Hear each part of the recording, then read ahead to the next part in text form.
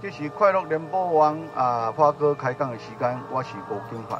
大家早安，花哥开讲谈台湾的历史，讲台湾的文化、文学、古籍、宗教，嘛讲台湾的物产甲旅游。希望大家做伙来讨论台湾的未来，创造美丽的新台湾。多谢大家收听。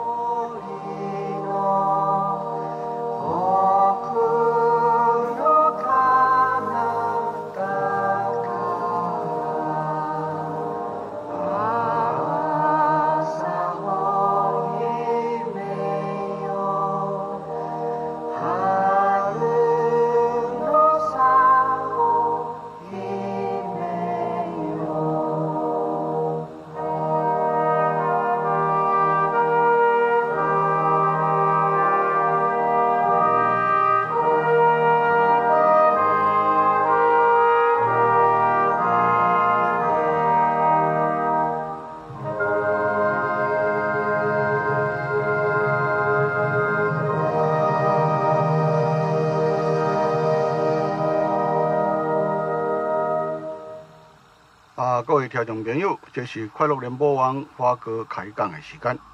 花哥开讲啊，今天还是要把继续讲这本书有趣的书呢。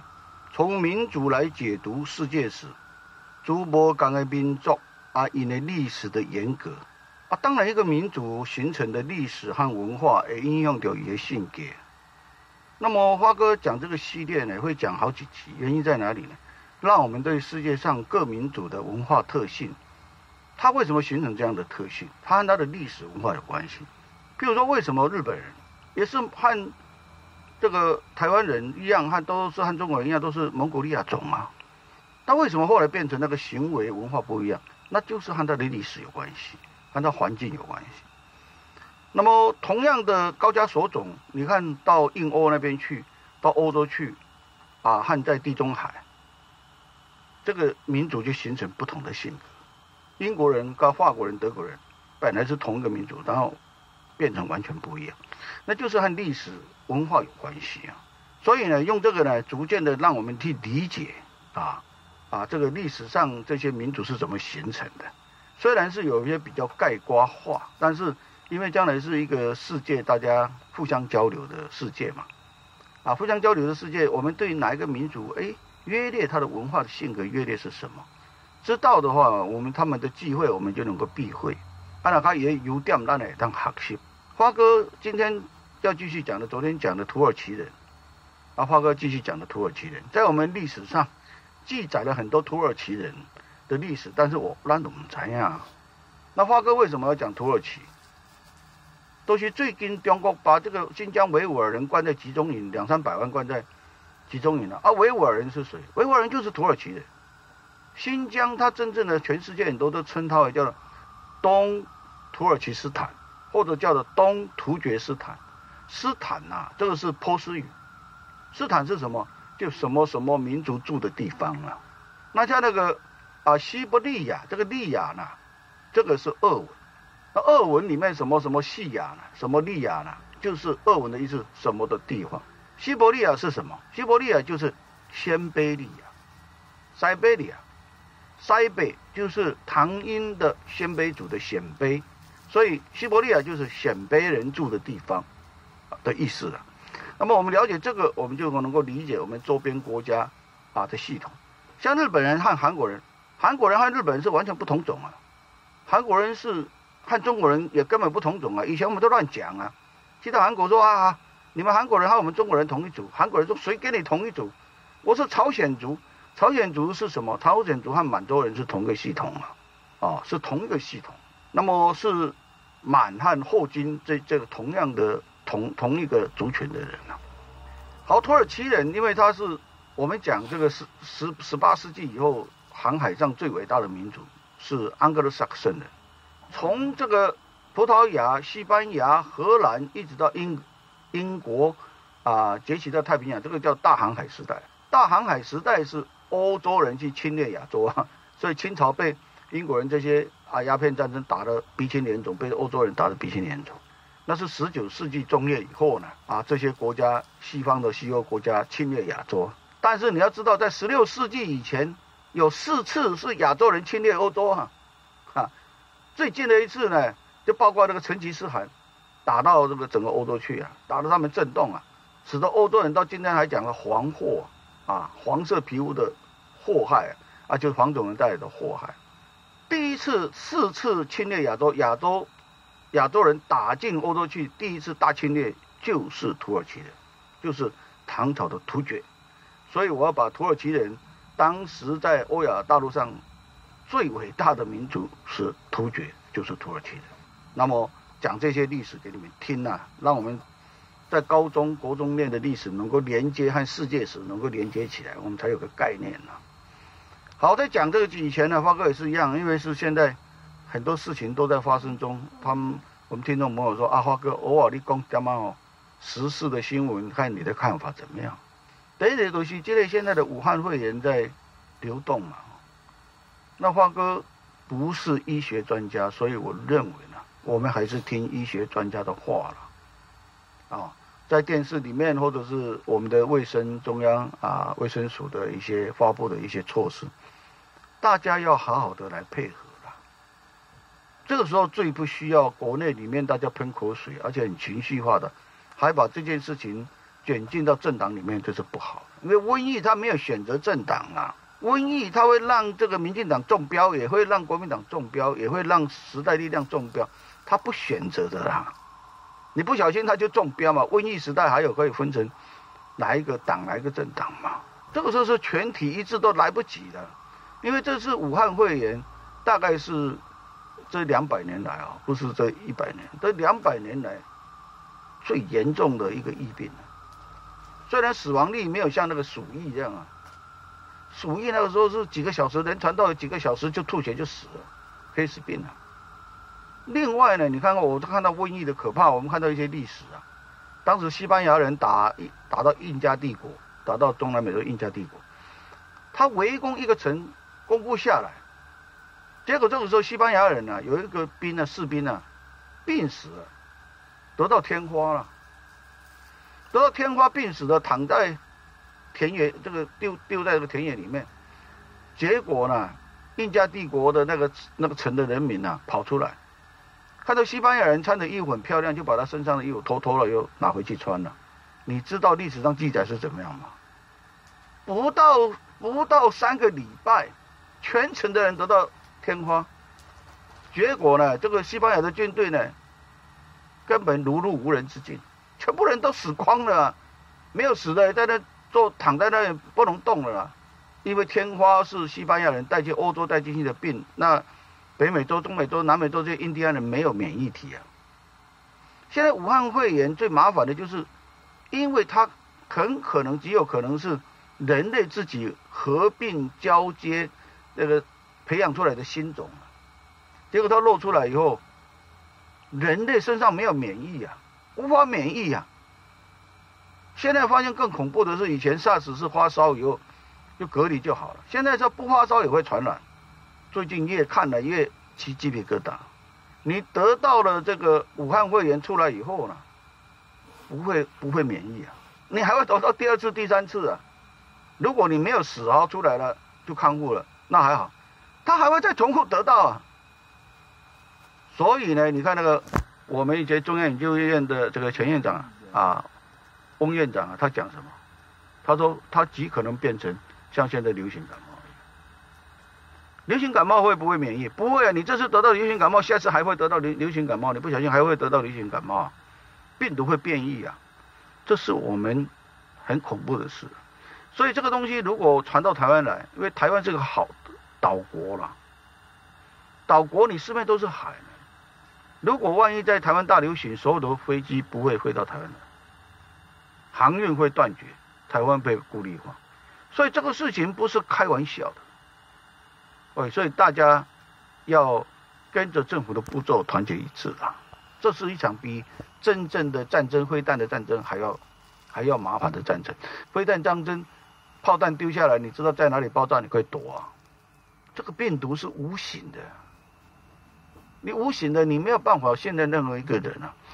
所以啊，上个世纪最有名的小说卡缪的《瘟疫》，它有里面有一句话说：“每一个人心中都有一场瘟疫啊。”卡缪写的是黑死病嘛。好，这是关于这个部分呐。所以发哥觉得说呢，尤其是老人家啊，有慢性病的，最好的居家，自己居家，然后呢。偶尔下来到那个公园散散步就回去了，尽量不要去公共场所了。为什么这样说呢？因为中国现在宣布的死亡的人里面，绝大部分都是老人。也就是说，老年人免疫力差的时候，一旦丢进来更麻烦了。啊，所以尽量生活简单，饮食简单。我想这个是他心里安静啊。你信佛教的念念佛经，你信基督教的啊念念圣经。很多人在在笑说，这这个病毒会怕佛经啊，会怕基督经、基督教的圣经嘛？不是这个意思。因为你心里平静的话，你的免疫力就会增强嘛，就会保持良好嘛。如果你每天都在担心，每天都那个，你身体就会落下来，落下来，病毒侵到你身身上的时候，你没有抵抗力啊。重要的是这个意思啦，让你安静的过简单的生活。所以瘟疫有的时候呢。发哥不是说有好处的，勉强让我们安静下来啊，思考一下我们的生活应该怎么过了。以前我们爱老简单，爱在外面吃大餐呢，现在让他生活饮食起居简单一点了。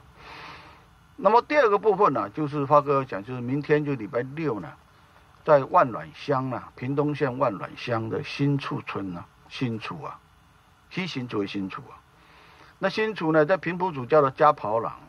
加波隆，加跑朗有一个平埔族的业绩的，马卡道的平埔族的业绩啊，这是文化活动宣传啊，不是替谁宣传，是发哥告诉你的后康二的店了。那么你可以去参加，他从下午开始一直到晚上的九点十点，啊，让你知道台湾人的原来的文化是怎么来的。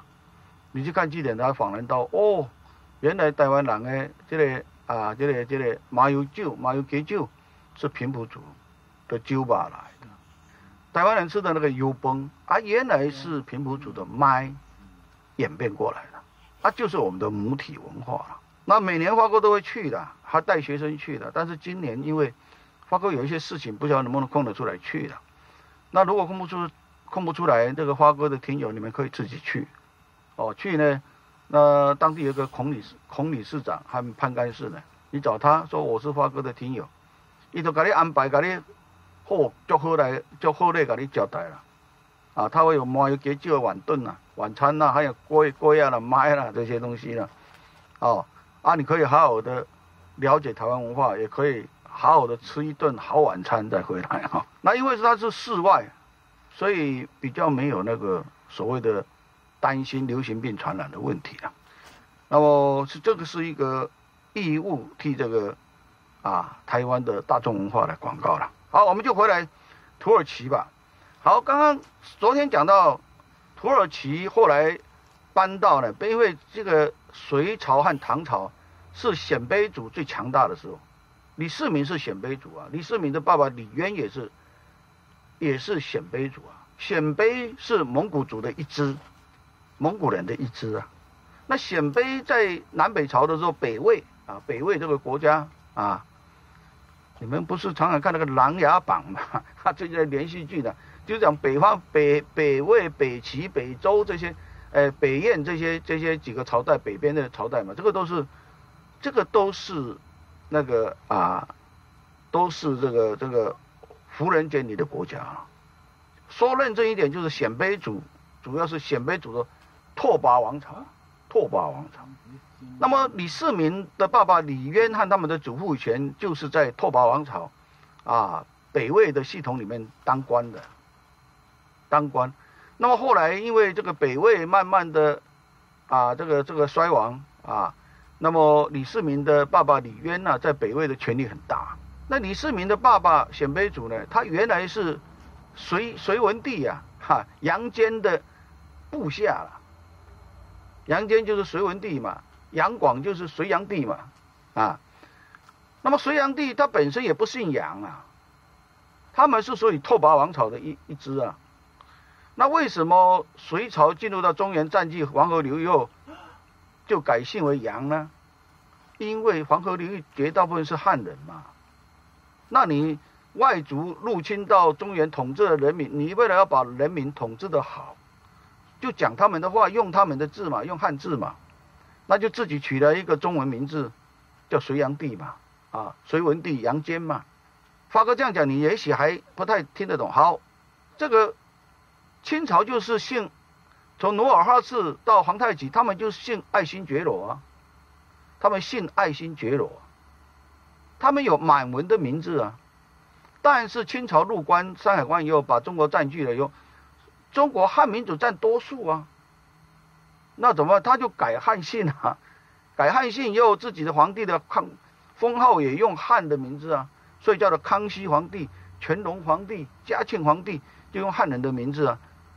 但是谁都知道，因为清朝比较近，我们现在知道嘛，我们知道他们不是汉人啊，他也不是姓汉姓啊，对不对？